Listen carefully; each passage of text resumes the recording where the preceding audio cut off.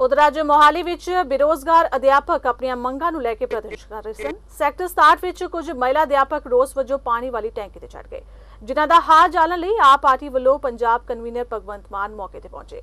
ਇਸ ਮੌਕੇ ਭਗਵੰਤ ਮਾਨ ਨੇ ਮੌਜੂਦਾ ਸਰਕਾਰ ਦੀਆਂ ਨੀਤੀਆਂ ਨੂੰ ਲੈ ਕੇ ਜਿੱਥੇ ਖਰੀਆਂ ਸੁਣਾਈਆਂ, ਉੱਥੇ ਉਹਨਾਂ ਪੰਜਾਬ ਵਿਧਾਨ ਸਭਾ ਦੇ ਸੈਸ਼ਨ ਵਿੱਚ ਇਹਨਾਂ ਬੇਰੋਜ਼ਗਾਰ ਅਧਿਆਪਕਾਂ ਦੀ ਮੰਗਾਂ ਦਾ ਮੁੱਦਾ ਉਠਾਏ ਜਾਣ ਦੀ ਗੱਲ ਕਹੀ।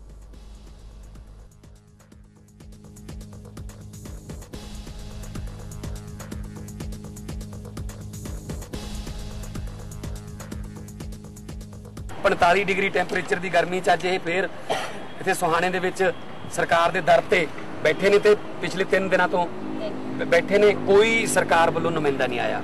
ਇੱਥੋਂ ਇਹ ਸਿੱਧ ਹੁੰਦਾ ਕਿ ਸਿਰਫ ਪੱਗਾਂ ਦੇ ਰੰਗ ਬਦਲੇ ਨੇ, ਹੋਰ ਕੁਝ ਨਹੀਂ ਬਦਲਿਆ, ਉਹੀ ਲਾਰੇ, ਉਹੀ ਜਿਹੜੇ ਪ- ਪੁਰਾਣੇ ਸੀਗੇ, ਉਹੀ ਚੱਲ ਰਹੇ ਨੇ। ਬਤੌਰ ਮੈਂਬਰ ਪਾਰਲੀਮੈਂਟ, ਮੈਂ ਪਾਰਲੀਮੈਂਟ ਦੇ ਵਿੱਚ ਵੀ ਇਹ ਮੁੱਦਾ ਠਾਉਂਗਾ ਤੇ ਇਹਨਾਂ ਦੀਆਂ ਜਿਹੜੀਆਂ ਮੰਗਾਂ ਨੇ, ਉਹਨਾਂ ਨੂੰ ਪੰਜਾਬ ਦੀ ਵਿਧਾਨ ਸਭਾ ਤੱਕ ਵੀ ਲੈ ਕੇ ਜਾਵਾਂਗੇ।